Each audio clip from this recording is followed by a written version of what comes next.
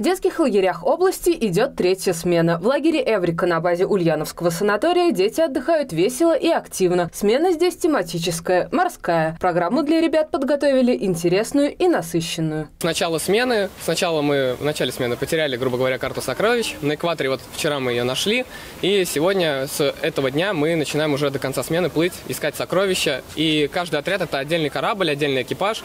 У каждого э, отряда э, на свое название корабля, свои фишки. Работают для детей и различные секторы. Робототехника, плавание, волейбол, лазертаг или просмотр кино – занятия по душе каждый ребенок выбирает себе сам. В игровой форме доступны образовательные программы, например, занятия английским языком.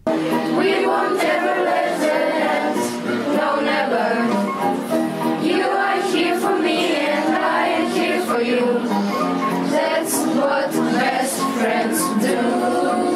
На территории летнего лагеря работает бассейн с морской водой, а также соляная пещера, комната ароматерапии. По индивидуальным показаниям проводят и другие лечебные процедуры. Отдыхом ребята полностью довольны.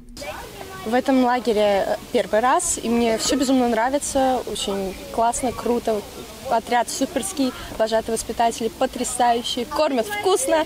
Всего в детских лагерях Ульяновской области на сегодняшний день отдыхают более 7 тысяч детей. Работает 26 загородных и 45 школьных лагерей с дневным пребыванием. Кроме этого, Ульяновская область организует отдых и оздоровление детей с подшефной территории Лутугинского района Луганской Народной Республики. 650 детей отдохнут в августе-сентябре в лучших загородных оздоровительных лагерях области. Юлия Руднева, Олег Тоньшин, Улправда ТВ.